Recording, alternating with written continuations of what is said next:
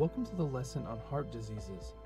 In this video, we will discuss causes and signs of heart attack and how to care for someone having a heart attack.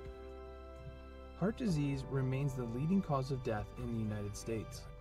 Your prompt actions can mean the difference between life and death during a heart attack, when blocked blood flow to the heart tissue results in muscle death.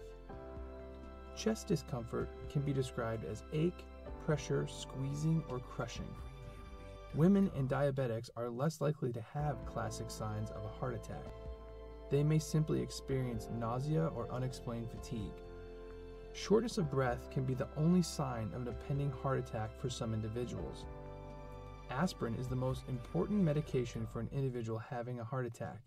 In addition, when caring for someone who may be having a heart attack, follow these steps. Keep the individual and yourself calm. Have them sit or lie down. Activate the EMS by calling 911. Give two to four baby aspirins or half to a full adult aspirin tablet. Make sure the aspirin is not enteric coated. Be prepared to administer CPR. Heart attacks can become fatal quickly.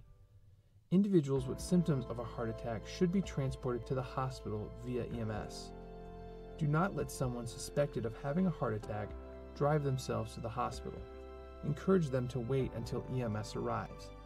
If they refuse, then have someone else go with them to the hospital. This concludes our lesson on heart diseases.